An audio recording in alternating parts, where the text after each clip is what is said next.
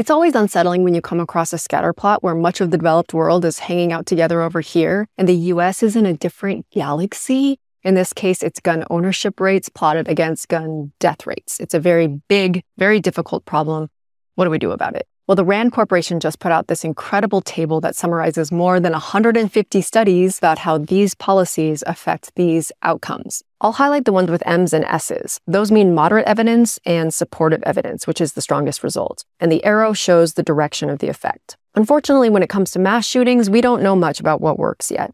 But we do know that we can reduce the deaths of kids and teens with laws that require guns to be kept out of reach of children. And then there are a couple of policies that seem to increase homicides. One is the stand your ground laws, which make it easier for someone to use deadly force when they feel threatened. And second, laws that make it easier for people to get a concealed carry permit. Right now, a majority of US states have both of those laws on the books.